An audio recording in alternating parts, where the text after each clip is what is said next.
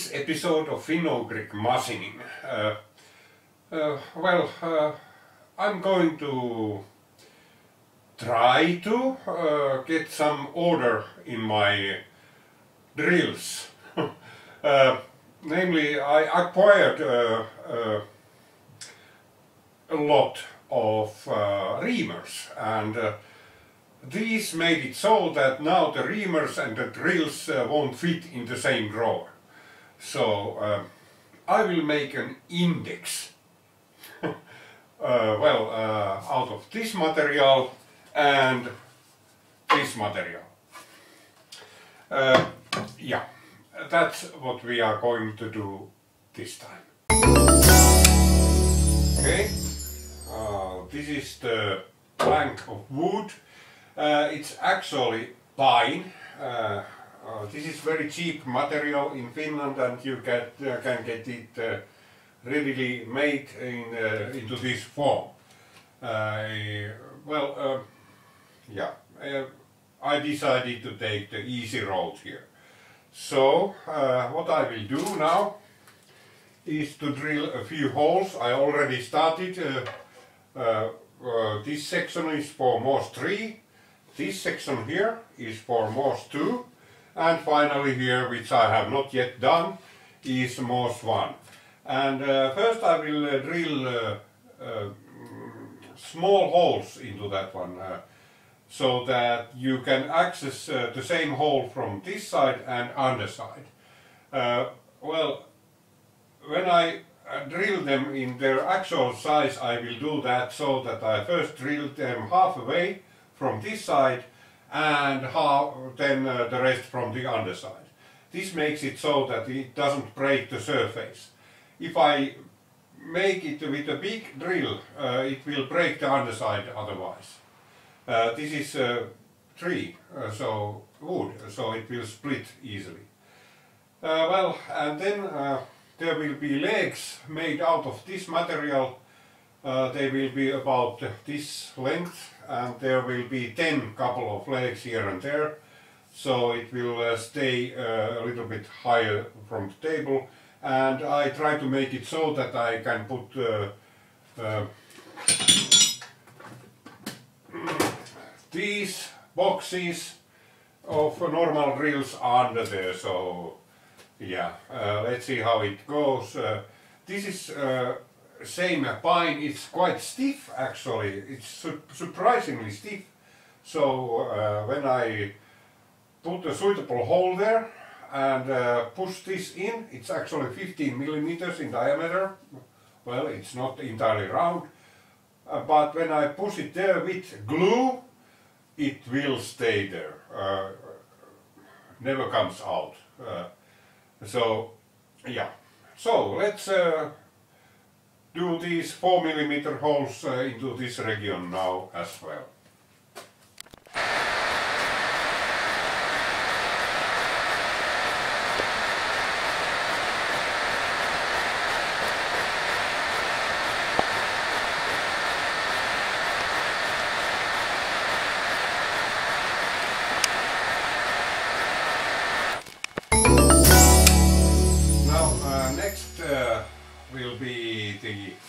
10 15 millimeter holes uh, for the legs. And I uh, need uh, to change the drill here. It uh, will be Morse uh, 2 chuck. Uh, well, this drill has a very, drill press has a very nice feature. There is a pin here in the side. When you push it down like that, you can get this out very easy. the Morse uh, 2, this is an uh, attachment for Morse 2, Morse 3 to Morse 2 and then I have the 15 millimeter drill here. Obviously it's uh, not on suitable height at the moment. We need to lower this table down a little bit.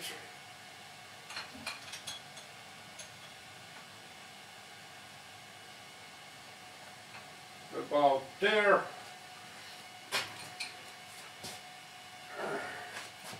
Then remember always to pull this out, otherwise this won't work. There you are. And as always, with these things you should uh, give a little hammer. and this secures the Morse 2 uh, adapter in place. It doesn't now it doesn't drop from there. You could, could tighten it more. And then the speed should not be that kind of speed we had. This is too much. Maybe in the next gear. Let's see. That's too little.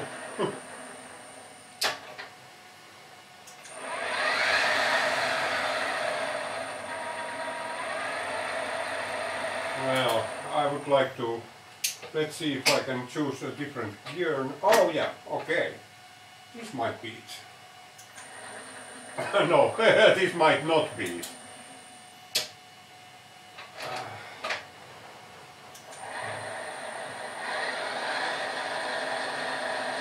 Hmm. Damn. This is oh. That might be the one. That's the one. That's correct speed for one. I don't want to use a lot of speed with this. Uh, yeah. And I think we are quite near the correct place. We have so that I can do this in one go? Well, the table is a little bit uh, low actually. So I will raise it a little bit. Makes the whole task a little bit easier. About there. And then my nice little support here.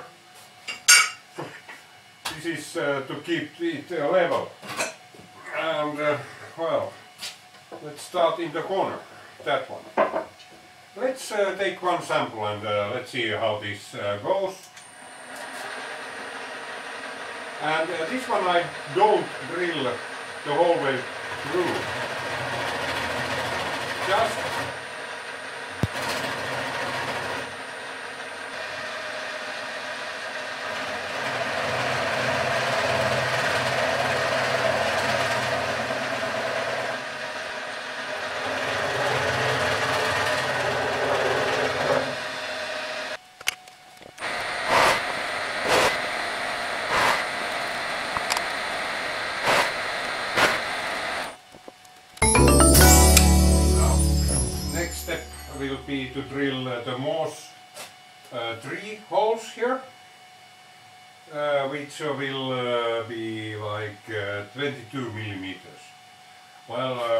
I measured it from the taper and it's around in the half, uh, halfway through the taper, so uh, I'll just stick them there. I don't know whether I can do some taper in these. I have these, but this is not uh, wide enough. So no way, no luck with that one. So let's uh, change the drill. And again, I can use this one to get. Oh, I cannot. Now, this had the locking mechanism, and I was really hasty about this. Not good. And now it's tight. because I slammed it in.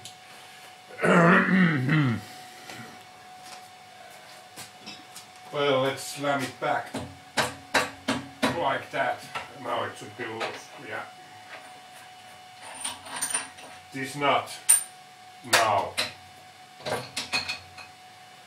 We can get rid of this. And then we need uh, this.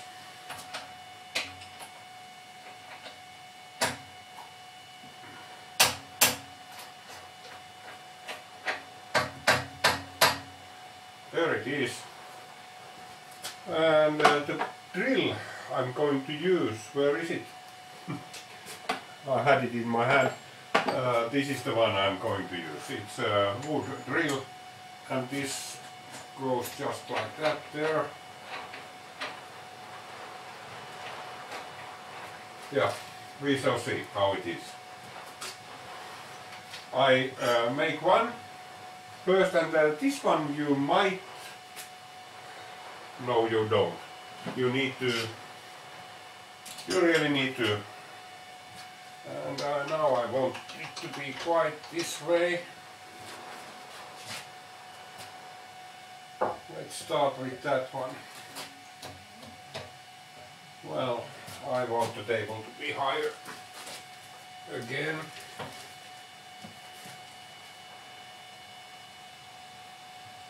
like that. There you go.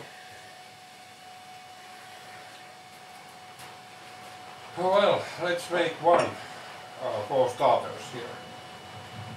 And the speed then. This is, I don't know. Let's take a little bit slower. Let's try that. I don't know. And this will make a lot of uh,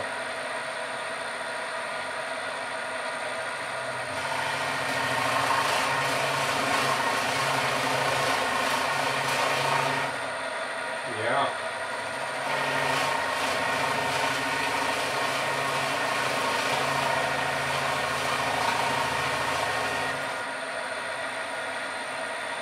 I actually try to make this whole way through and see what happens on the other side. Because this, oh, this is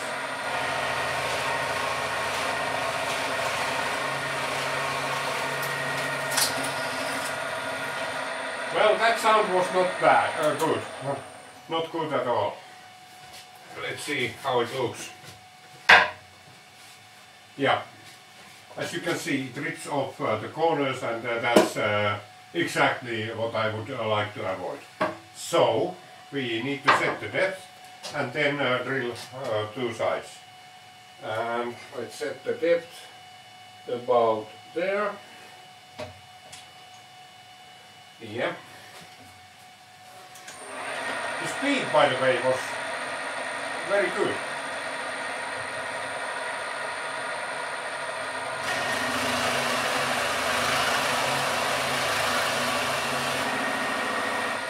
That's one. Oh, one thing more. I need to proof of concept. Let's see how this uh, works with Morse three. Really well. Well, it's uh, oh yeah,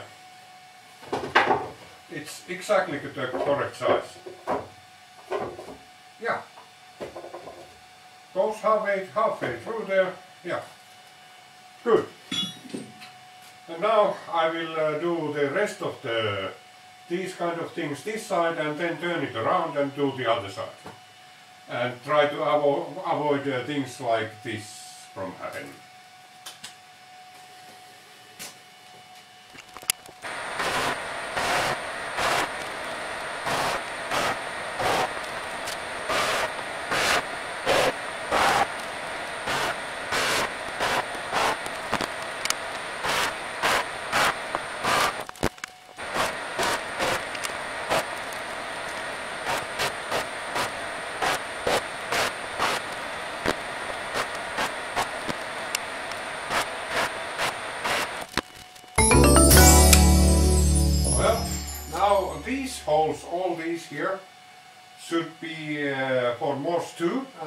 Checked out that uh, 16 millimeters should be quite uh, good for that one. So this was uh, 15 but uh, 16 now. And uh, one really good thing about this drill chuck is that it's easy to change the bits. You don't need any force to do that. Like that and there you are. Yeah. I will uh, try out uh, one hole. Oh yeah, and depth once again. Uh, it needs to be taken good care of. I don't want to drill uh, the whole way through. So I need to set it somewhere in between. A little bit longer first time and then uh, the second round uh, I think it is there. And then just check that it's, it's there. Yeah. And then I drill one hole. Let's take that one. It looks like good one. Oh, this wobbles quite a lot. Why?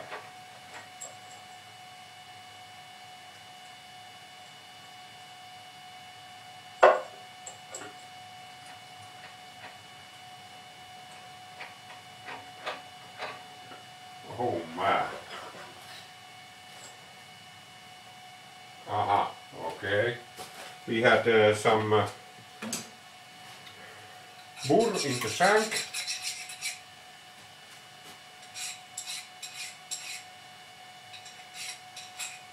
Let's file those away. Is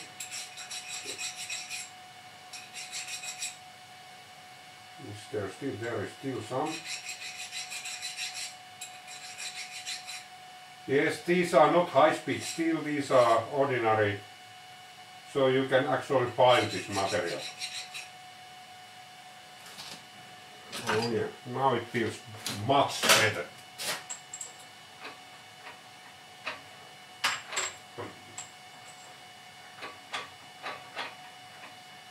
Let's see. Yeah, and it looks much better as well. Yeah, it wobbled uh, like crazy. So let's see.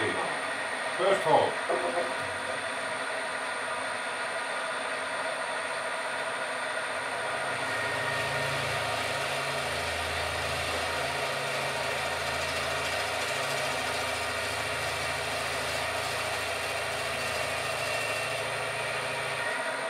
Oh, I think this uh, drill is a little bit dull, or I don't know why, but it didn't uh, drill that well. The hole is good quality, but it uh, so it will be that one.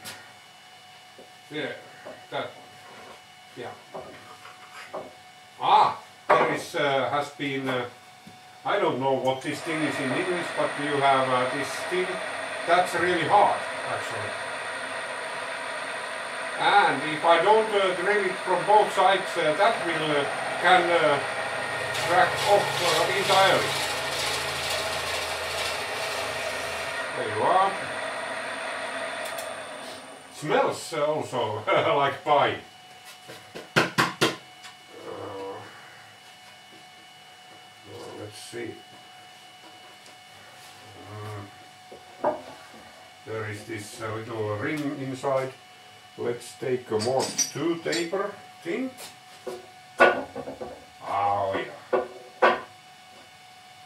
It's really good actually.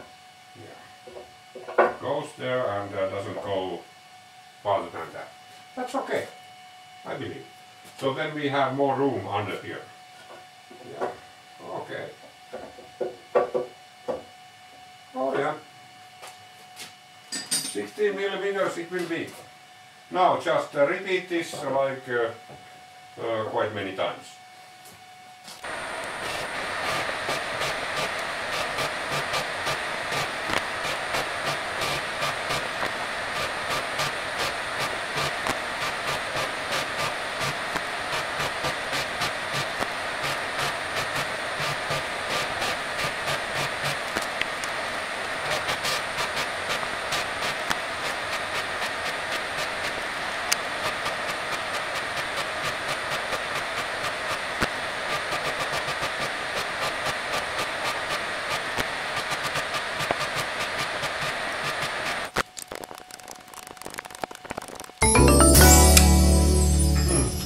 Well, one thing about these uh, uh, 16 millimeter holes is that, uh, well, the counterbore from the other side was not always concentric.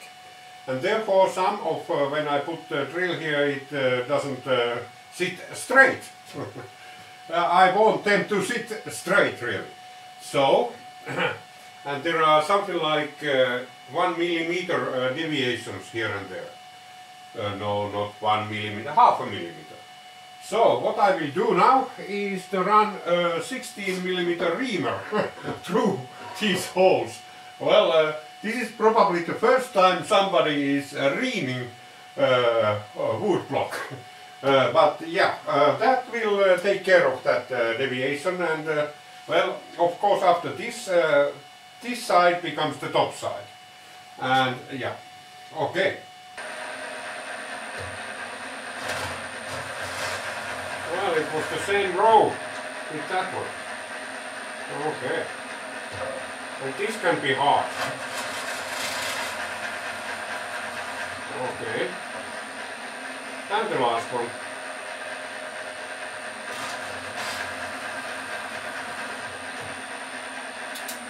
Okay. And now I will actually do the, well, I believe this became our top side then. Uh, well, no.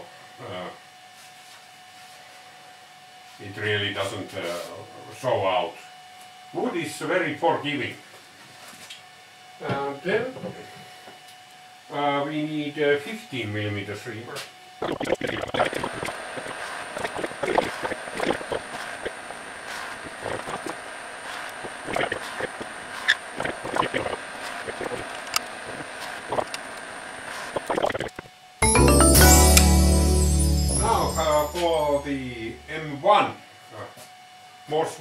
Section, it will be 11 millimeter holes, and uh, therefore I have uh, this uh, 11 uh, millimeter drill, which uh, at some point of time in Finland costed uh, 21 marks before the Euro time, and this is like brand new, in brand new package.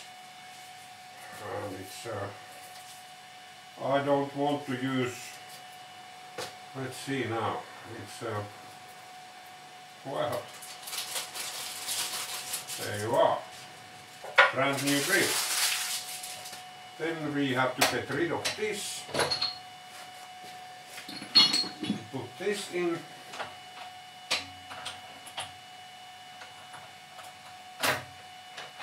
Oh, is it here? Oh, no, no. Now it's in. Yeah. Okay. This is a no, no go. Another chuck, please. A little bit bigger.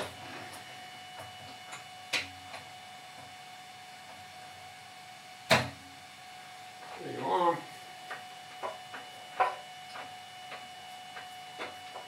Let's see now. If this one can accommodate it does. This is not as easy as that run. And the speed then, well, we need to take a little bit more.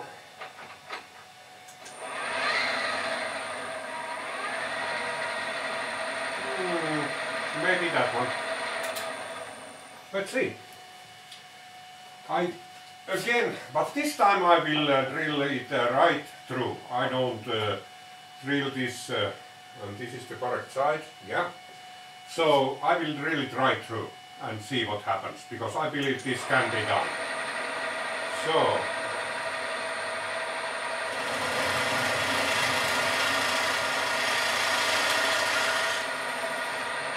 yeah, it's really sharp, so it goes right through.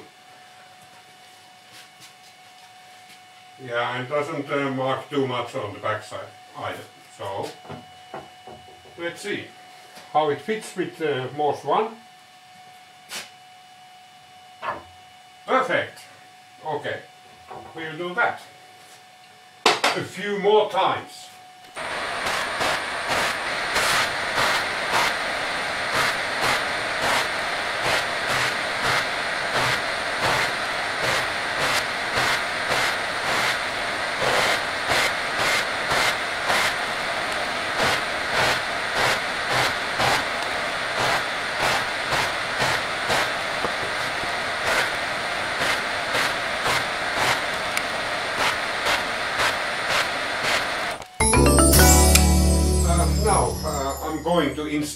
The legs.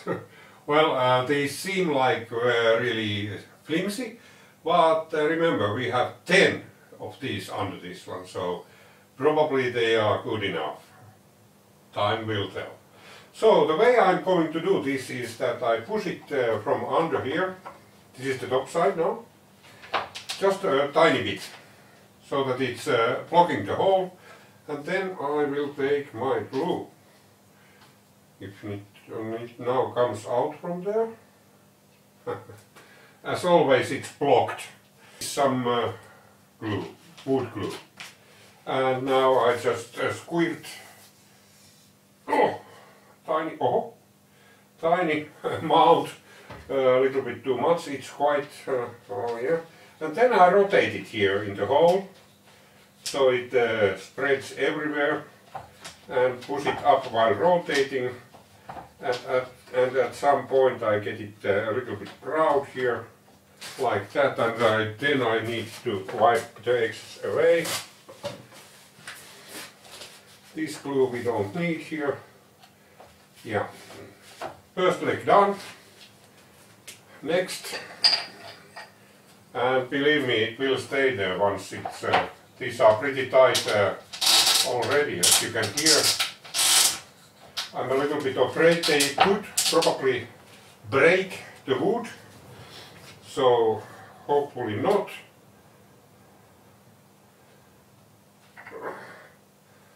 Okay, some rotation here. Get the glue everywhere and then push it up Yeah. Oh.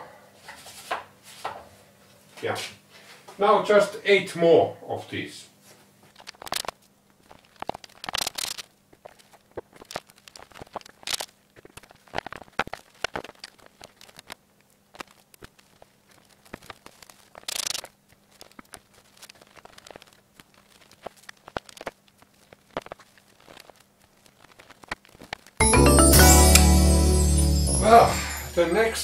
Is to sand it a little bit uh, so that, uh, uh well, I'm using this device.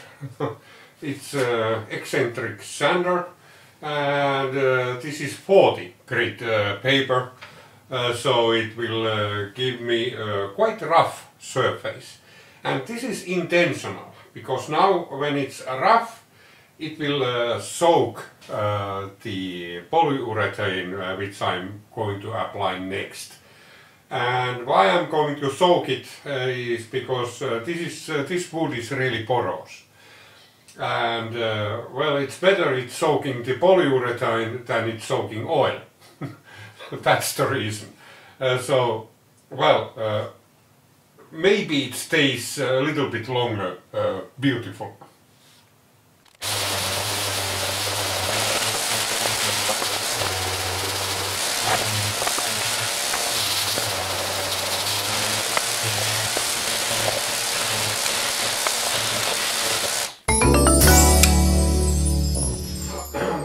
I'm going to uh, rub it uh, with uh, polyurethane. And this one is, uh, well, uh, I'm not going to have a, a, nice surface finish in this one. Well, uh, because there is no need for that. What we need is really a surface that doesn't soak oil. So this one should to my knowledge, take care of that. And I'm just going to rub it in. Uh, I'm not going to paint uh, with brush or anything. And I hope this doesn't leave a lot of hair here. Well, it does, but uh, it actually doesn't matter. Then we have a, a hairy, hairy thing in hands. So just rub it in like this. Well, okay. There you are. Oh, there are shiny spots. Ow. Okay, no shiny spots. Good. And get rid of these. No, not before I close this. And for your information, when you open these, uh, don't hammer them in. That's uh, when you open this. Don't hammer it in. It, uh, if you have closed it pro properly the last time, it will, uh, and when you open it, open it carefully, so that you don't deform the lid. So after that, this uh, stays forever uh, in a good condition. And yeah, okay, now I can take this off. Yeah. Uh, how did it end up? I would say uh, very well. Uh, it's now there, and uh, well, uh, the drills are and reamers are now organized. Uh, better than being in the drawer, just laying there, easier to find one when needed. Well, this is not an index because it doesn't have any numbers on it. It's just a place to hold your drills. That's it. And uh, yeah, so uh, in the next episode of Finno-Ugric Machining we are really going to do the uh, heat exchanger for the Stirling engine. Uh, well, till then, bye!